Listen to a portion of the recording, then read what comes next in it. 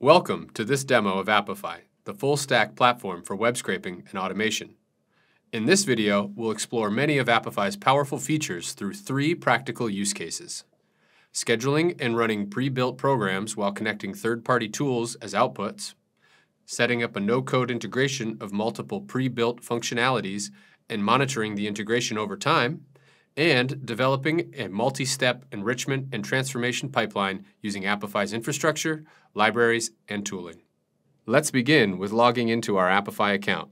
If you have not created an account, you may do so on apify.com homepage. Once we are logged in, let's navigate to the store. Here, you may find more than 2,000 ready-to-use actors, serverless programs that run on the platform. These actors perform different tasks such as data extraction, task automation, processing, and much more. As you can see, there are many categories of actors depending on the use case. General purpose actors to help in the development of your own actors, and community actors built and maintained by developers from all around the world. Let's take a closer look at our e-commerce category and select our Amazon product scraper. This actor quickly and easily extracts product data from Amazon. Simply enter a category or search URL in the query field and set the number of products per URL you wish to receive. This actor, like many other Apify actors, handles bot detection and blocking avoidance through proxy usage, rate limiting, and browser fingerprinting built in with no setup needed. That being said, some actors on the store allow for proxy configuration and even the connection of your own proxies. If you have any questions while using any of our actors, make sure to refer to the actor information page. If you come across any bugs or performance issues, be sure to report them here so that Apify or the community developer can quickly remedy the problem. Now let's create a task and schedule it so that we can receive this data on a regular basis. Let's choose from one of Apify's native integrations so that we can regularly receive the data in our Google Drive as well as in Slack. Here, you can manage all of the integrations connected with this task, turning certain integrations on or off and reviewing the run logs. Now, let's run the task. Here are the results in the platform, and here are the results on Slack. Next, let's see how two actors from the Apify store can be integrated together to create a workflow. In this use case, we will obtain enriched property listing geospatial data. Let's begin with our Zillow zip code search scraper and create some search filters. I'm interested in homes for sale in the Austin, Texas greater metro area specifically in these zip codes. We can easily edit in bulk by pasting a list of zip codes into the input dialog box here. Let's set a minimum and maximum listing price. I'm only interested in recently listed properties, so I'll set these filters as such. Our default run options should suffice. Before we hit start, let's create a task and connect this actor to the next stage in our data enrichment pipeline through our Integrations tab. Like demonstrated in our last use case, here is where many native integration options are available for connecting Apify with external tools. However, now the dataset will stay within Apify's platform storage as a key value store to be used as an input for our next actor. You can see here Apify's recommended actor integrations, or you can search for any actor or task by clicking here. We are now on the Zillow Details Scraper setup page.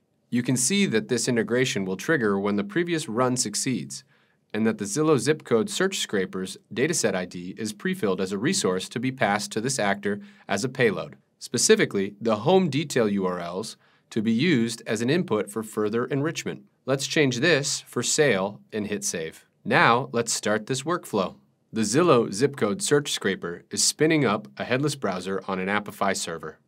We can follow along via the run log and see some results coming through already. Now the second actor, Zillow Detail Scraper, begins its run upon the completion of the first actor.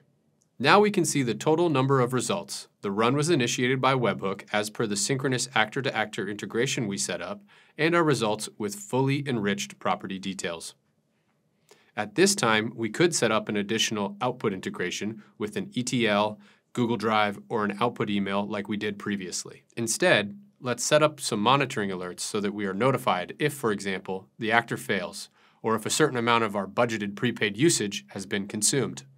We can review our actor to actors key performance metrics in this dashboard. For our last use case, I will show you how we can leverage everything the Apify platform has to offer by developing a custom actor that connects multiple Apify actors and transforms data from various platforms into a unified format. In functional terms, we will construct a workflow that searches for hashtags across multiple social media platforms, returns multiple data points from the profiles who used the hashtag, the posts in which it was used, and the comments associated with the posts. Let's begin by navigating to our Actor Templates page. As you can see, you can link an external repository or push work from your CLI. But today, let's build in our web integrated development environment. No need to build from scratch. Let's choose from one of the many templates of varying code languages and libraries to jumpstart our work. We will select the TypeScript template. We begin by defining the input schema for our actor. This schema allows us to specify the parameters the actor will use which can act as an accessible user interface. Ours will consist of the hashtags we want to scrape, the social media platforms we're targeting, and how many results to return per hashtag. Next, let's move into the actual actor logic in main.ts. Here we initialize the actor using actor.init and retrieve the input that we defined in the schema. The input includes the fields that we defined in the input schema. Now, in the run hashtag function, we start runs of the specific scrapers for each platform and remember the IDs of the started runs. We do this so that when our running script gets migrated to a new server, we can pick up the already initiated runs and continue where we left off. Since the specific social media actors runs operate asynchronously, we use Apify's client SDK wait for finish method to track the progress and block further actions until all runs are completed. This ensures that all data is fully scraped before moving on to the next step, processing the results. Each social media platform, TikTok, Facebook, and Instagram, has its own configuration, which we define in the utils.ts. This config object defines the platform-specific mapping of fields into our new standard output format. For example, TikTok's profile URL is constructed using a string template that fetches the profile name from an item object while other fields such as likes count or post URL are extracted directly from the raw response. Considering we will most likely use this data pipeline at scale, let's apply a scalability improvement.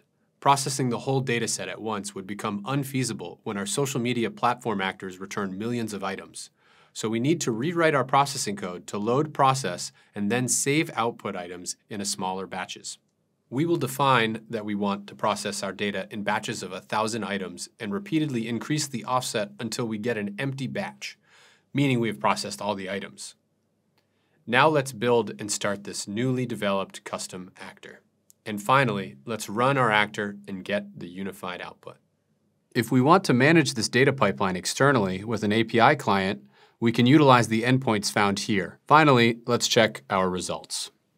Throughout these three use cases, we've explored how Apify enables seamless automation and data extraction, from running pre-built actors with native integrations to chaining multiple actors for complex workflows, and finally building custom solutions for large-scale data processing. Thank you for watching and take care.